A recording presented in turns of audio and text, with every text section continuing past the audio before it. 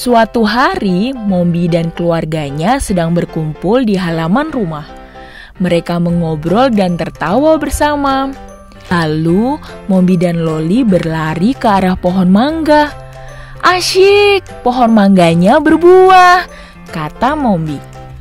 Sayangnya, ayah mengatakan bahwa buah mangga itu belum matang. Tapi melihat ukurannya yang besar, Loli tetap meminta ayah untuk memetik mangga itu. Mombi dan Loli berpikir rasanya pasti lezat. Lalu ayah mengambil alat pemetik buah. Ayah mencoba mengangkat tinggi dan hap, satu buah mangga berhasil dipetik. Setelah dikupas, Mombi dan Loli mencoba mangga itu. Tapi Wajah Mombi dan Loli tiba-tiba berubah. Oh, rupanya buah mangga itu rasanya asam karena belum matang. Ayah dan ibu tertawa melihat Mombi dan Loli.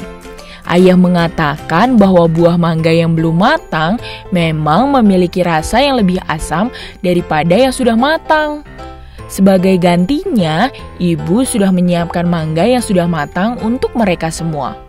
Hmm, manis dan lezat. Nah, sahabat Mombi, bisakah kamu menyebutkan yang manakah mangga yang paling besar? Benar, mangga yang paling besar adalah yang nomor dua. Sahabat Mombi memang pintar. Sampai bertemu di video dongeng Mombi selanjutnya ya. Dadah! Mombi, sahabat kita. Bersama Mombi, ibu dan anak semakin akrab.